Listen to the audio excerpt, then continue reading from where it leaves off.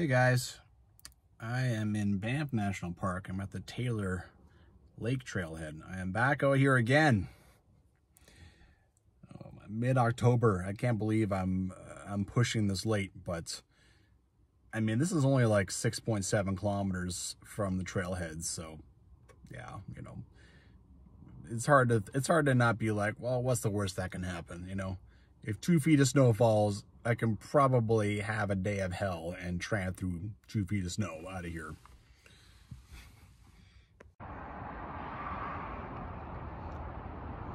Pretty nice views just from the parking lot.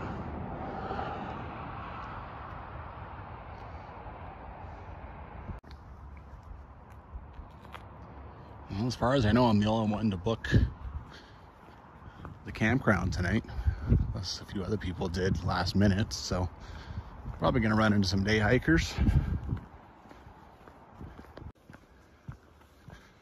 Okay, off and running. One of the big reasons I want to do this backpack now is because it's very popular in the summer. So this is a good time to get out here and check it out. Banging this one off the list. It's also not a real challenge, obviously, so I don't mind using a couple days to check it out. Okay, know yourself, know the trail, know your gear. The trail is only 6.7 kilometers in Banff National Park. It's very popular. I'm not gonna have any problems with this. I mean, look at this. This is this is freaking the Autobahn of trails. Pretty amazing. Um, know your gear. The thing about my gear in this case is just that it's October. I have to sleep in this. It's good weather, good weather forecast. Otherwise I wouldn't be out here. I have my minus 10 bag. I have long underwear. I've got everything I had less than a week ago when I was on Loomis Lake. And that was pretty high elevations, much higher than the lake's gonna be, so. There yourself, well, obviously 6.7 kilometers there. And then I'm planning to do some day hiking. And same thing for tomorrow. That's not much of a challenge for a random. Not so much of a challenge for me, so I think I'm good.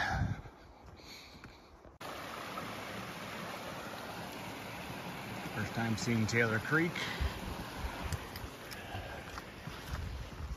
It's a little uh, sidebar off the trail. I know I'm coming to a bridge over it pretty quickly. Uh, bridge number one.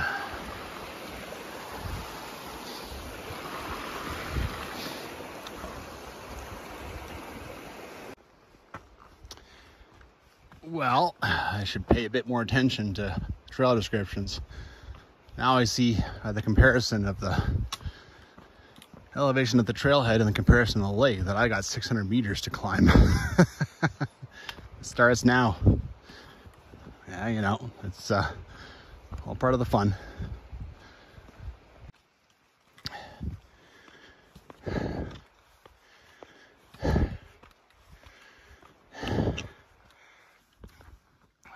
Oh yeah.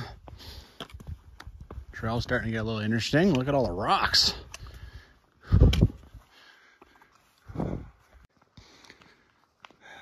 Not far. Maybe another eight, 900 meters to the lake. Definitely got the sense that most of my climb is done, so that's nice. Woo!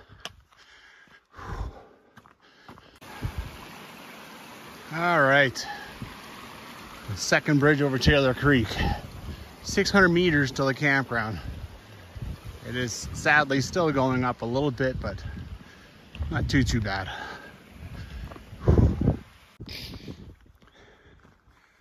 I am 200 meters away from the lake apparently, and I still have service on my phone. Wow. you want a place where you can stay connected with the world, this is it. Ah. Okay, O'Brien Lake, Boom Lake. I want to come do this earlier later. This is a uh, day hike. All right, I made it I can just start to see the lake over there. I hadn't actually seen it yet. All right, let's go check all this out. Oh, how nice. I met a couple up here. They've been chatting for like 20 minutes. And they even left me uh, potato chips and some cookies. Kind of nice. I think I'm going to finish these off.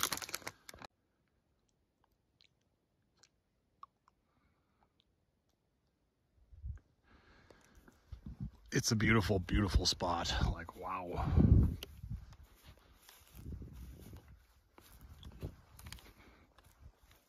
Man.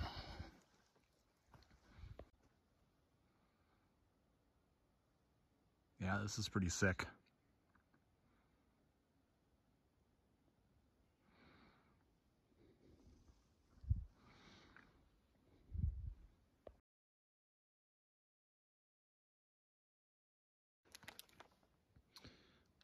This is what you call a mixed message. On the internet, I checked and it said no fires. And here you have a fire pit. Park staff have recently been here and cut stumps. Left a boatload of wood.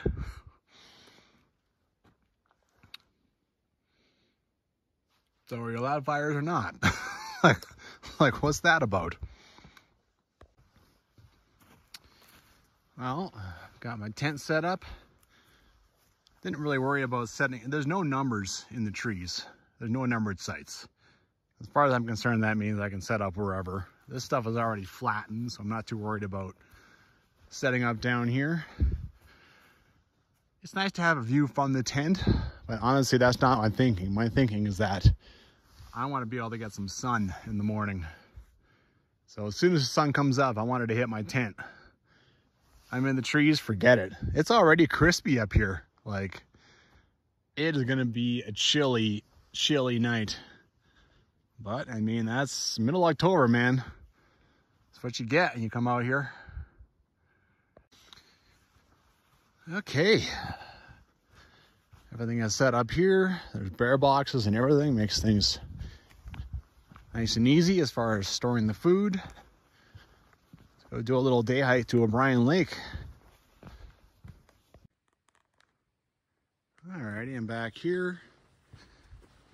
Looks like got a little bridge over here.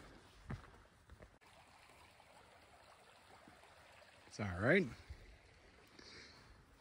Not well defined beyond this point. All right, challenge accepted.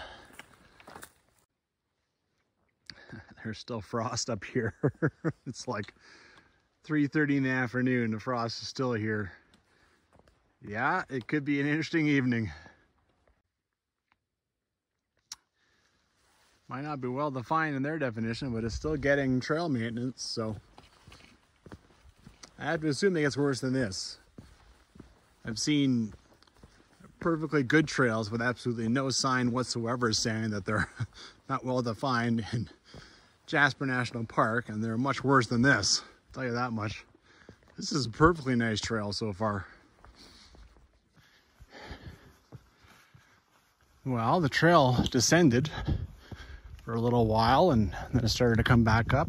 Now we've turned right, starting to head right for O'Brien Lake. Got to climb about 200 more feet to get there.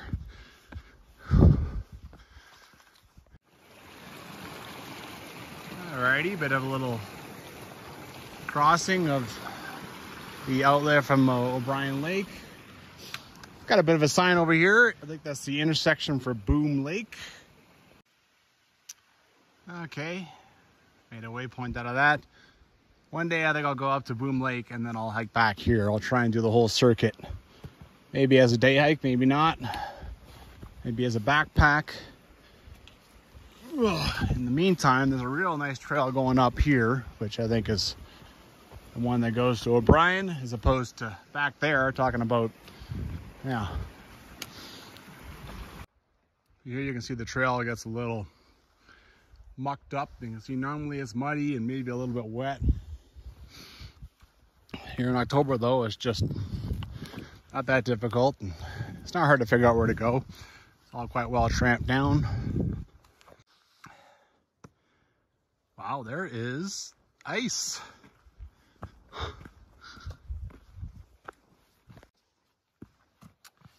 Wow. Look at all the frost up here and the lake is beginning to freeze over. wow. I am up here late in the season.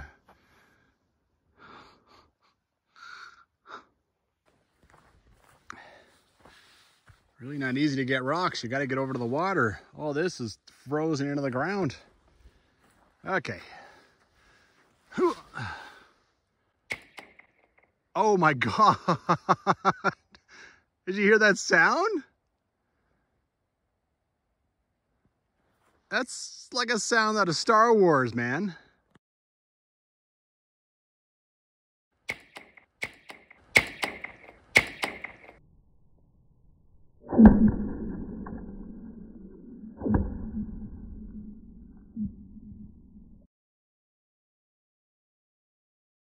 Okay, way high in the air. Let's try this.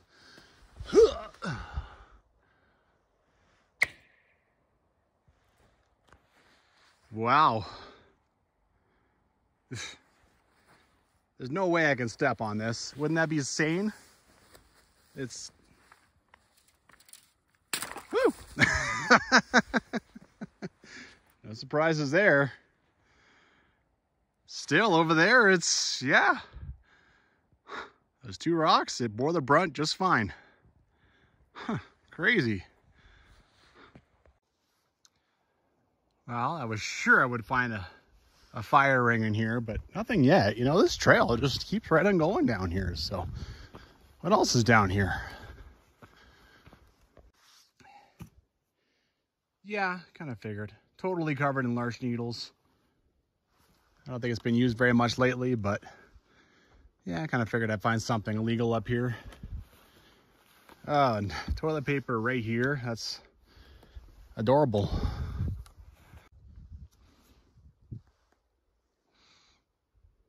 Well, I'm not sure. There's kind of a trail all on the lake that comes here, probably mostly from wildlife. And maybe you can also climb up here and climb up. I don't know if you wanted to climb this. This is now not uh, Mount Bell. That's Mount Bell. Anyway, this is as far as I want to explore, at least along this side of the lake.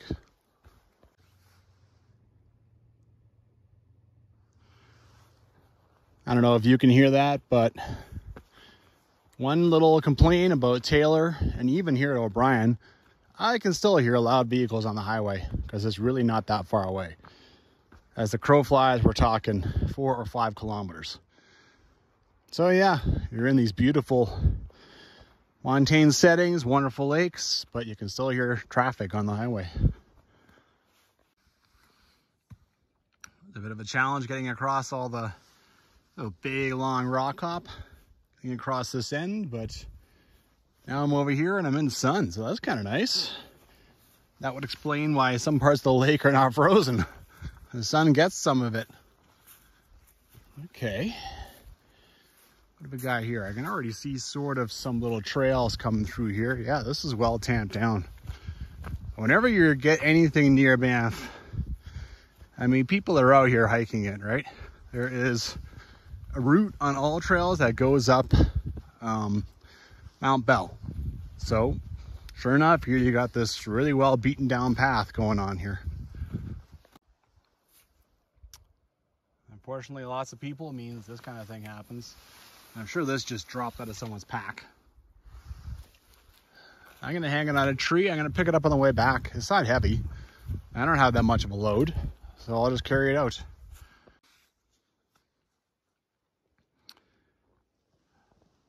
That's a pretty awesome shot too.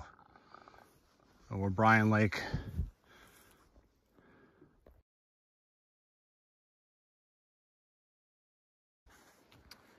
Well, that's not a surprise at all. The climbers come here and want to get as close to the to the climb from Mount Bell as they can. So so far it's pretty easy to, you know, there's a pretty easy trail to follow. The reason I even thought of this is it's in Don Beer's book. He talks about there's a couple of woo, a couple of tarns that are up above O'Brien, and I got time, so why not go check them out? Here's the inlet.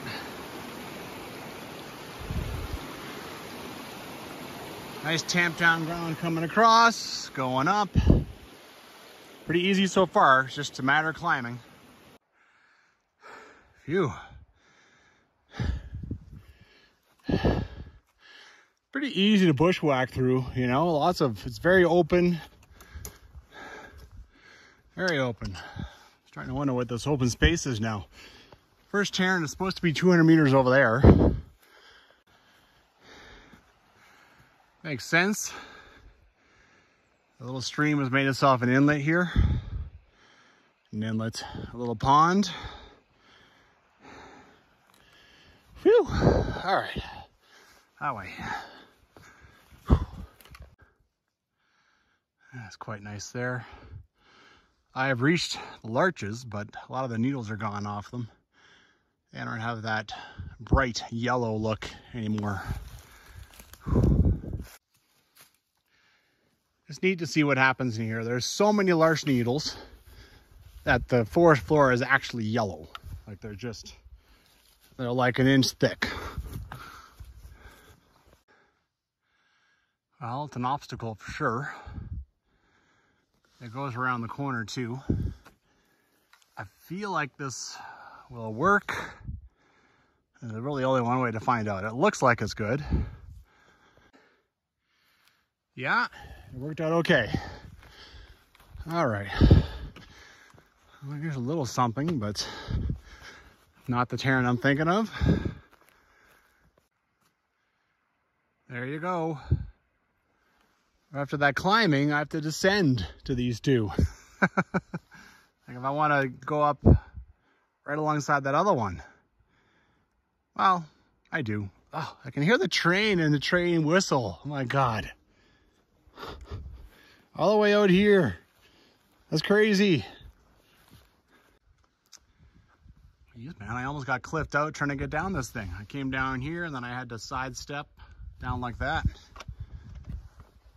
It's funny that like the little puddles are fine. They're not frozen, but the deep stuff is.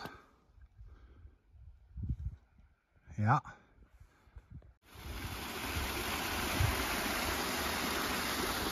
I feel like this will be a bit of a neat little moment here. All right. Foot Cool. So people doing Mount Bell, they get up all this somehow and then they come up here. I wonder what's the actual peak of the thing.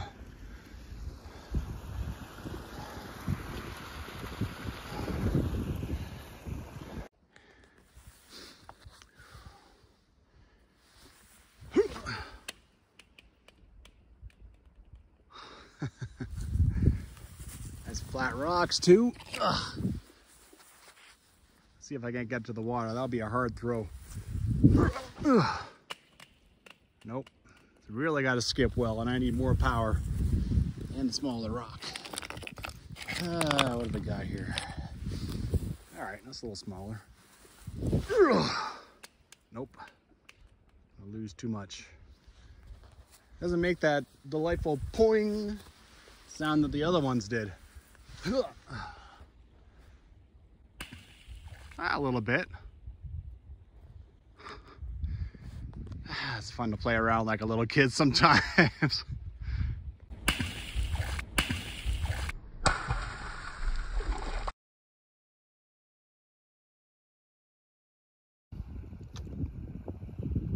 That's enough playing around. I think I've given myself enough time to get back pretty easily, so. But no sense lollygagging too long. Darkness comes. Instead of climbing over this thing this time, I'm gonna see if I can't just follow the, the stream through that. That looks a lot better. Hopefully it works out.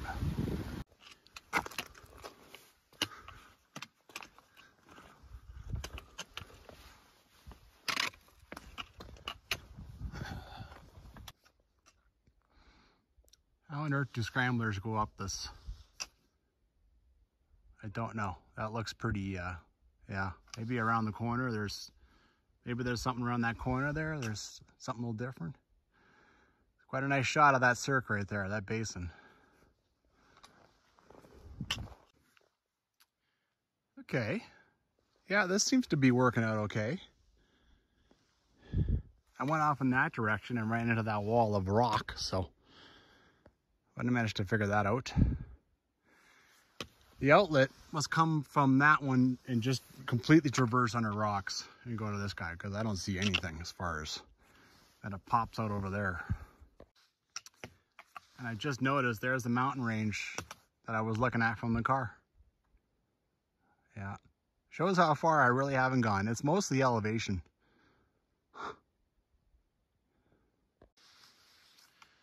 There we go. Back down beside O'Brien Lake. There's a couple of places that get steep, but it's not hard to figure out. And now I'm back down on a, a beaten down path. And yeah, it's uh, nothing complicated from here on out getting back to Taylor Lake. Uh, you can't see it much here, but I just kept following the trail that's on that side of the lake all the way down here. I never crossed the uh, the outlet a beaten down path, some trees in the way. Now there's this, which would probably bring me back. And then there's this too, which still isn't the normal trail, which is, I mean, clearly you can see there's big stuff down across it, but yeah, it's going in the right direction. So, whoo. Yeah, a little adventure. Keep on going, keep trucking. It'll hook up with the main trail pretty quick, I think. There you go. Just down there is the intersection for a Boom Lake. Where I popped out of, you can't even really see, so, you know, make your own way. That's a little fun anyway.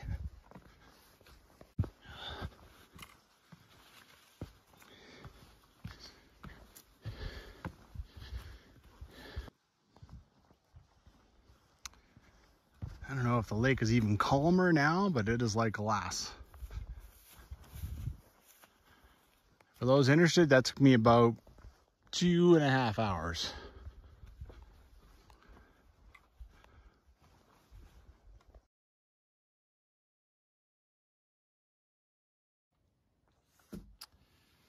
Uh, having double soup. I've had some amazing views while I'm eating dinner this year, man, and this is this is just as good as any of them. This is pretty awesome.